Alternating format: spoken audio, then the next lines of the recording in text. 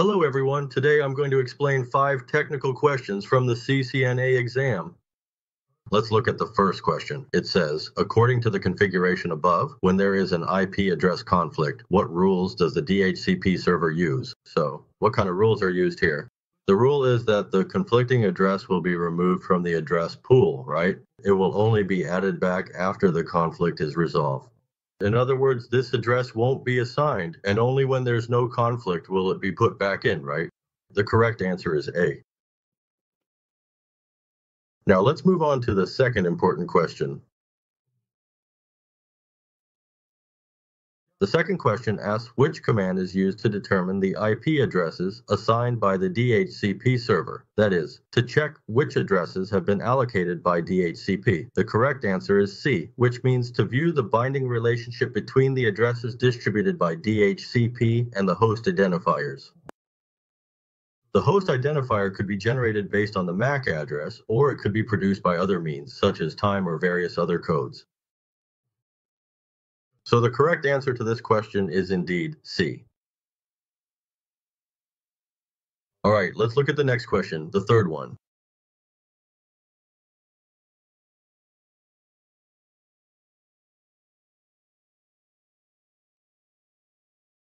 So regarding address lookup, what is considered the authoritative source? It's asking us, what is the authoritative source for address lookup? That is, when performing recursive address lookup, when we enter a domain name, it will recursively query the DNS server, performing a DNS search. So the correct answer is A.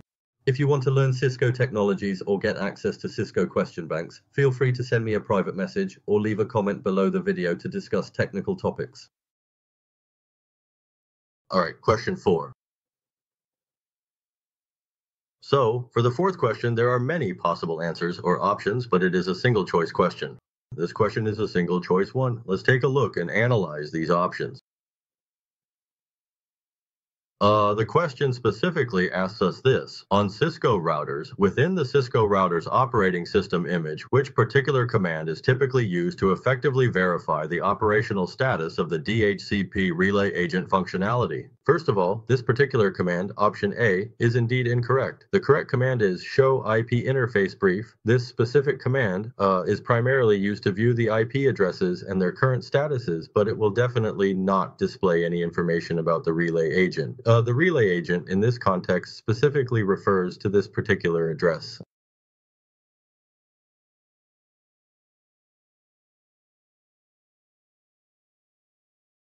This helper address won't be shown, so option A is incorrect. Next, option B, the command show IPDHCP binding is specifically used to view the IP address leases that have been assigned by the DHCP server.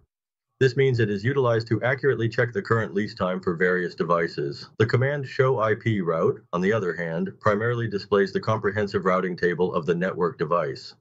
Therefore, considering these functionalities, all of these presented options are indeed incorrect in the context of the problem. As for the next available option, which is the command show IP route, the absolutely correct answer to this particular question should be D, which is the command show IP interface. This specific command is primarily utilized to thoroughly check the physical interface status and the current link status of the network connection. Isn't that correct? And finally, option E, show interface is incorrect. This option is for viewing the physical interface and link status, so E is wrong. And what about option F? F is also incorrect. It is used to view the address pool, right? The correct answer to this particular question is indeed DD is the only command that possesses the capability to effectively display this specific kind of address. More precisely, the relay agent address? The correct answer is D. All right, question five is also about DHCP.